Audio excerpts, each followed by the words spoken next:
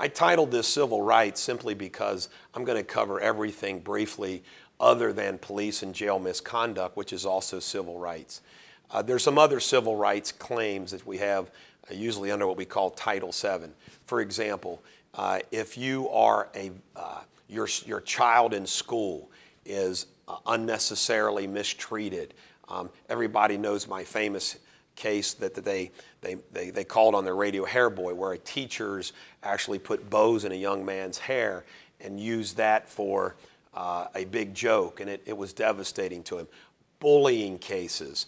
Um, I got a case against Grant County where Grant County refused to, uh, to, to, punish a boy for having problems with grades, uh, made him eat uh, a peanut butter and jelly sandwich or a cheese sandwich rather than a hot meal.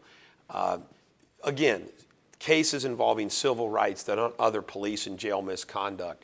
Very complicated cases, very difficult cases, uh, but we handle them in my office and we do them very well. So again, if you feel like you're civil, and you may not even know what whether it's a legitimate right, it's okay. Just email me or call me and we'll tell you. It doesn't hurt to ask. It's a free phone call or email to see whether or not your civil rights were violated. Most of the time we tell people, ah, no, that's not a case, but it doesn't hurt to ask. Thank you.